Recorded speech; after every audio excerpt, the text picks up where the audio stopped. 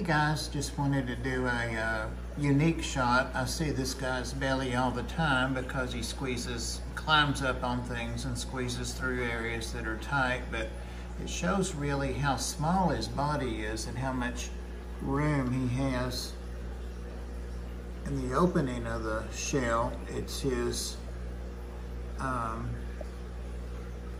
abdomen and pelvic region that are curled inside the shell and he grasps to the inside of the shell with his body. See it going down in there?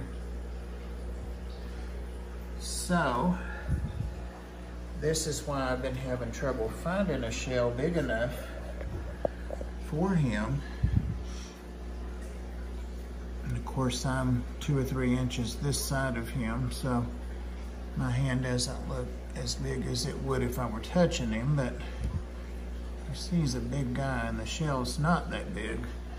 But good news, uh, Jess Shrimp Granny, uh, that's, uh, all of you know Jess Shrimp Granny, she's on uh, Pam's Art Show with us on uh, Saturday nights.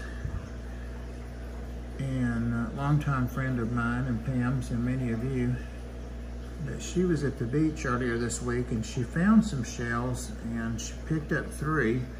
She's gonna send him and one of them looks pretty big. So I'm hopeful that one of the smaller ones will work for him and then he can grow it, you know, to, to that size. And then he has a bigger one if he needs it. Yeah, he's a big guy. Until you really see all of him, it's hard to get a perspective. And sorry, this was totally impromptu, just feeding fish and came over here and saw what was going on. So, there we go. Thank you guys. Appreciate your patience with these videos and love you and appreciate all your support.